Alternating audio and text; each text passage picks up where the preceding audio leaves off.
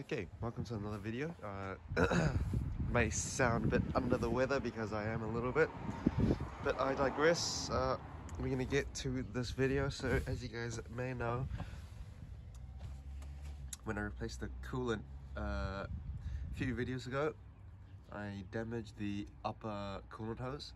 So it's been slowly leaking away. So I finally uh, bought some new coolant hoses so I got some blue ones from eBay. Uh, just blue just to match the engine bay because of the Cusco's brace uh, all over. So I believe uh, well obviously this is the upper hose but it goes like so. So that is the upper one that replaces this. I will be transferring uh, this heat wrap over to the other new coolant hose and the lower one, excuse me, goes under as well, which I think we have to do under the car. So doing it at home, uh, just have to lift it up, uh, take off the hose clamp on the bottom, take off the bolt that's securing it, and uh, then we gotta get to this pain in the ass clip that is all the way down there. So as we get that one off as well, we do the lower one as well. Hopefully the original hose clamps fit. Uh, if they don't, then crap, we're gonna have to buy uh, some hose clamps. But uh, yeah, hopefully uh, the OEM, OEM spring clamps work with these uh, aftermarket ones. So yeah. All right, so literally just before I was gonna start, it bloody started, you know, spinning, raining a little bit, but that's how it is in New Zealand. But uh, yeah, so first off, just gonna remove the upper hose with the, uh, I don't know what this is called, the spring tension coolant hose. Uh, remove it from the top and the bottom, remove this 10 mil bolt. Uh, with the bottom hose, what I'm going to do is take the tray off from underneath here. Uh, there's not much holding it. So as I get that off, I'll have to unsecure this uh, hose bracket. And uh, once I do that, then I'll uh, start to drain the coolant and uh, do all that. But uh, yeah, I just want to get the top off first just so I know it fits. So yeah. Okay, so as easy as that, the old hose is off. So we have that, we have the uh, hose securing mounting bracket thingy. Um, I don't think I can probably remove this because it's like stuck on there, but I digress. We have the two spring constant tension clamps, whatever. So we're reusing that. We have this fiberglass heat sleeving, which I recommend wearing gloves because if this gets on your hand, which it is, it gets very, very itchy.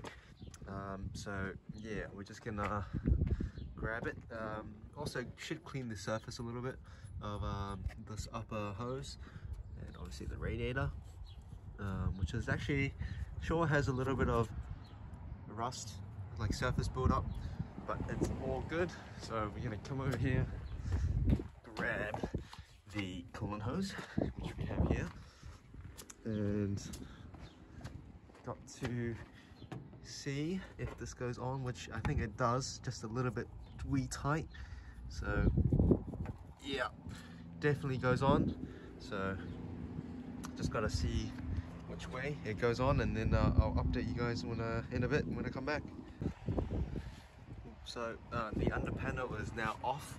It was a pain in the ass, but we got the uh, thermostatic on the thermos side. Uh, oh my god, I can't speak. So we got the uh, lower radiator hose off from the thermostat right here. So we had that pipe just hanging in there. Got the hose clamp off this side, so we're gonna take off this, took off the bracket as well, so it's unbolted. So I'm gonna try down here. It's not too too hot. Let the car sit for a little bit and uh, hopefully I can get this hose off and uh, take it off. So it is good to do this when the car is cold. Oh, oh my goodness. So after like 30 minutes I don't know maybe an hour I got the lower hose on. It may look different because it, I'm using a hose clamp not the constant tension like I have here that was easy obviously because I have more space um, so I don't know, I just focused up. I got the upper on as well with the hose clamp as well. I just had to, there was no space because of this upper radiator support. But all the ones that could have space, I put the OEM spring tension clamps on. So that is on now. The bottom, oh, so many cuts and all sorts. But here we go. That is the lower. That's all tight. So we're gonna just put back the intercooler piping. I uh, did have to lift up the car a little bit, but um, yeah. So we have all that in. Gonna put this bracket on and all sorts. Put everything back, plumb it up, put the coolant back in, and uh, we'll check for leaks. So yeah, this kit is really good, but the fitment's are a little bit off just because it's a bit kinks. But obviously it's because it's an aftermarket intake and all sorts. So yeah, that took a long time, but we're gonna put everything back on and uh, fill it up with coolant. See if there's any uh, leaks, so gonna check for that after as well. Okay, so everything's back on, everything's tight, I think. So what we're gonna do now I'm to open the windows just to let it air out. And then we're to start the car, have the coolant on, the coolant overflow filling thing. So we're to start it. It's to make a huge amount of noise. So we're to do this just to bleed all the air. So all this and see how it goes.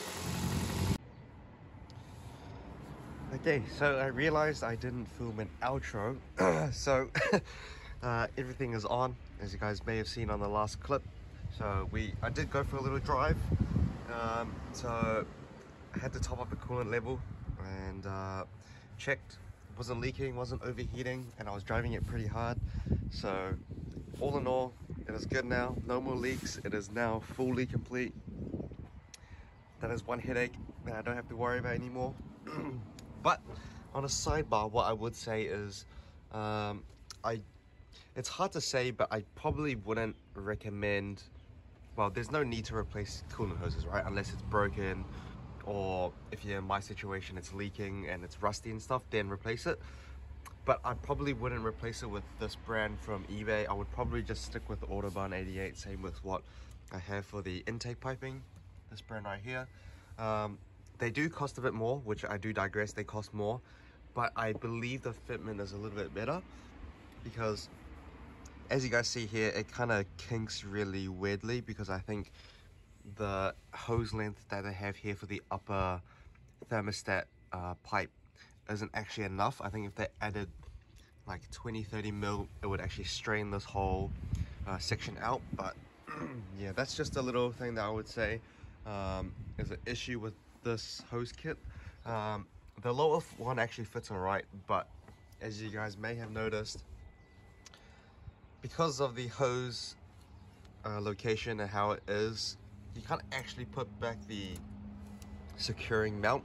I mean, this is already secure enough because obviously I put this heat shielding on so it's on the intake pipe, but the lower hose, it's all right. Like it's sitting on the aftermarket uh, intercooler piping, so it wouldn't have that much issue, but I guess if you are running stock, um, you could probably put that back on but uh, yeah it's just the things with having aftermarket stuff that I may not fit but uh, yeah hopefully that was a little easy tutorial that you guys could follow whether or not you're doing it on same car or if you're doing it on any other car it's similar procedure just whether or not the clamps and the location and stuff but yeah hopefully you guys enjoyed the video of uh, finally replacing these coolant hoses uh, delayed it for a few months, but uh, yeah, it's finally done. So that's one headache that I don't need to worry about anymore. So yeah, hope you guys like the video, and uh, yeah,